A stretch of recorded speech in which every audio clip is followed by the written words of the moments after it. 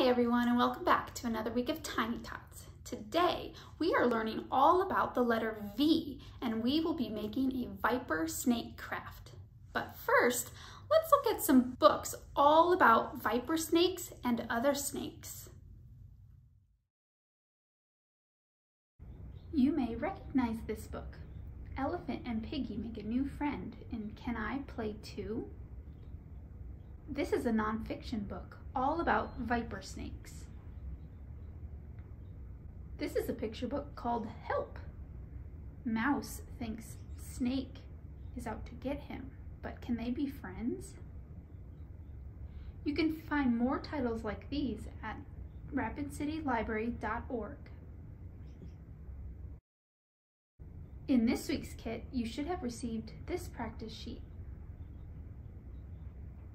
To make the big letter V, you start at the top, angle down to the bottom, and then go back to the top at an angle.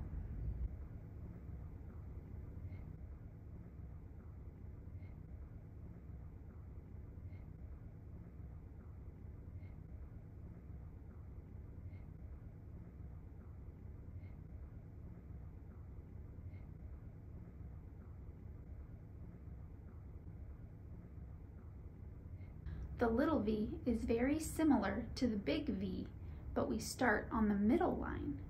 We go down at an angle and then come back up to the middle line.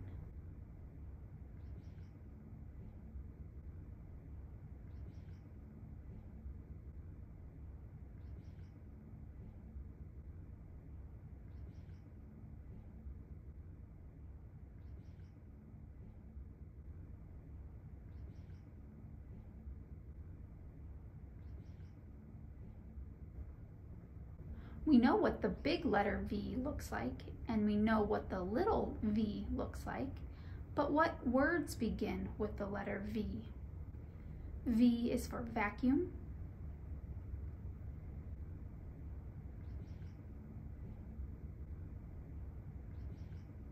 V is for van.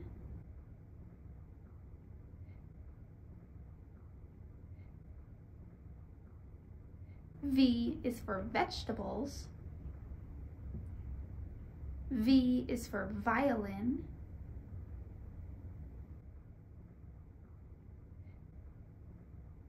V is for vase.